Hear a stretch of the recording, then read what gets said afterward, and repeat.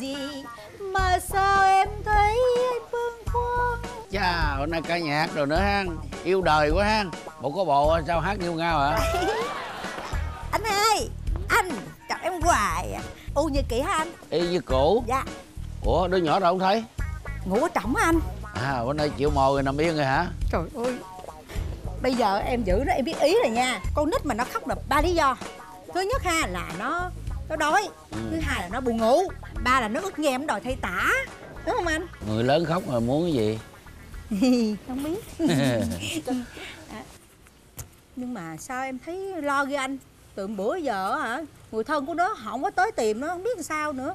Trên xã người ta cũng đang tìm kiếm um sùm đó. Vậy hả anh? Vậy sốc cái xã này chứ ai không biết. Ai vậy? Khách tao uống cà phê cho ai hỏi kỳ á. Ôi trời đất ơi. Mày đó hả? Dạ Dạ con chào cô. Ai vậy? Trời ơi mẹ nhỏ đó anh. Trời đất ơi, mới bên lớn sinh con rồi đó hả? Bữa giờ mày đi đâu vậy? Dạ con Con xin lỗi cô. Thôi Tôi đâu có gì đâu phải xin lỗi tôi. Xin lỗi con của cô kìa. Dạ con biết. Nên hôm nay á con mới quay lại để xin lại thằng bé. Gì xin gì Cho nó rồi. Cô Cô nói gì vậy Sao cô lại cho con của con? Ủa Con với mấy người với con, con của tôi đâu? Tự nhiên tôi phải nuôi Trong khi mấy người bỏ nó mà.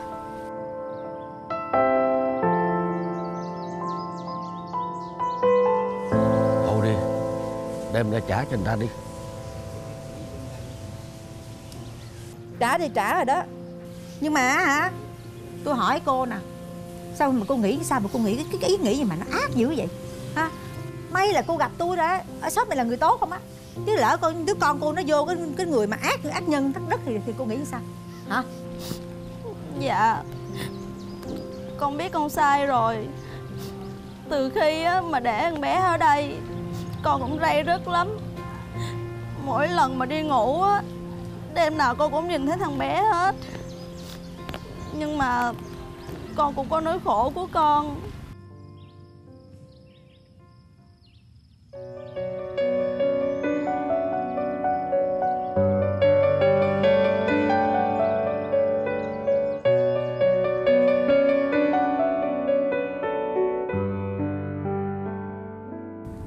Thủy nè, Cuối tháng anh và gia đình qua nhà em thưa chuyện với tía má em ha.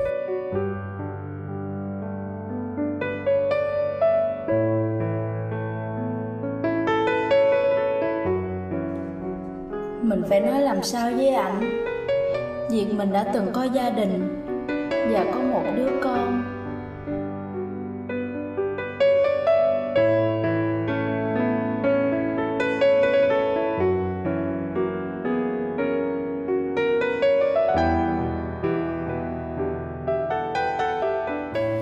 À Thì ra vì hạnh phúc của riêng mình mà bỏ con vậy.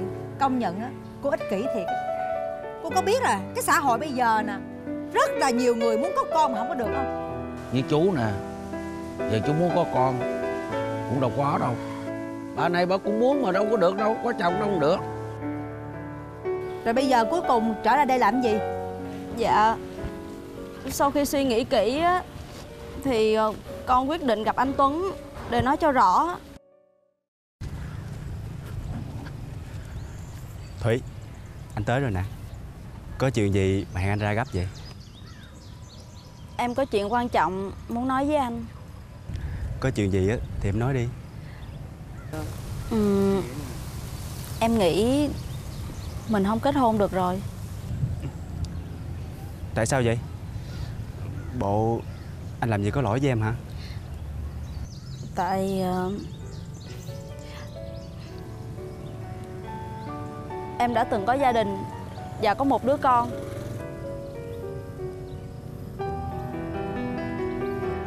Và em đã đem bỏ nó.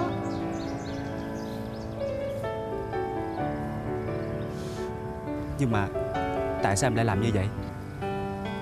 Vì em nghĩ Nếu anh mà biết Em có đứa con Thì anh sẽ không chịu cưới em.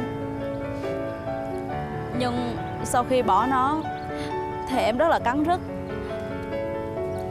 và em sẽ đi tìm lại nó. Nên em đã quyết định Nói rõ cho anh biết. Giờ anh biết rồi. Anh không muốn cưới em nữa cũng không sao. Thôi em đi đây. Thúy. Bây giờ Em nghe anh nói nè. À, Em đi tìm con của em về đi. Con của em Cũng như con của anh. Bà chúng ta sẽ sống với nhau Như một gia đình. Thiệt hả anh?